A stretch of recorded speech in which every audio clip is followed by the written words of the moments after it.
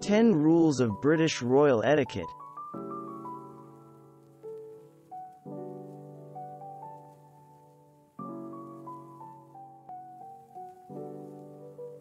Who knew the game Follow the Leader was so practical?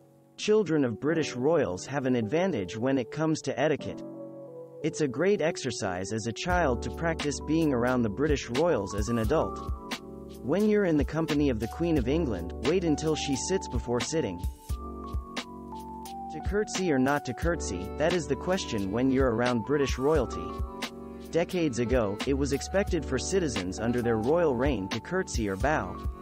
That has been somewhat relaxed in recent years, so it isn't necessary, although it's still a perfectly fine and respectful gesture. When greeting British royalty, you'll need to give a brief handshake.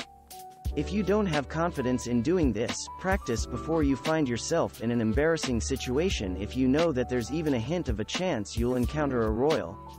As you shake hands, make direct eye contact and smile.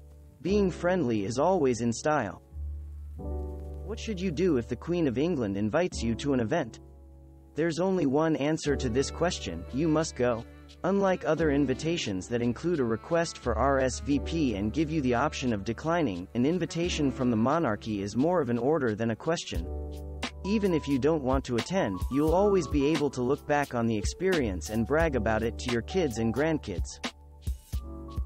Before you join anyone in the royal family, practice conversation etiquette and dream up a few easy subjects. Include some basic conversation starters as well as a few answers to simple questions about the weather and other harmless subjects.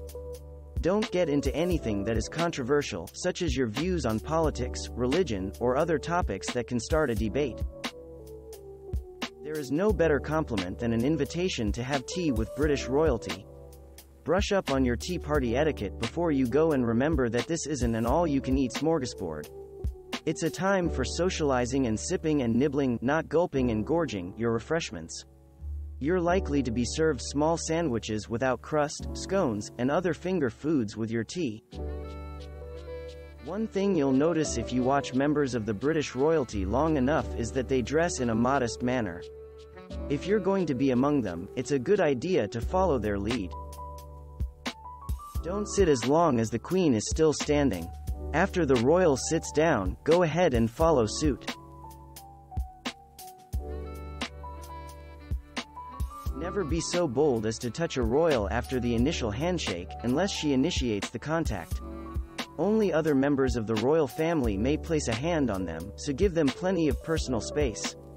Of course, this excludes members of the medical community when they are called on to heal the queen or deliver one of the royal babies. You give one of the British royals a gift, they must accept it graciously and without argument. Then they must give it to the queen, who determines where it will go. She may choose to let the recipient keep the item, or she might offer it to a respectable charity. Thanks for watching. Subscribe for more interesting videos. And please hit the like button for the YouTube algorithm.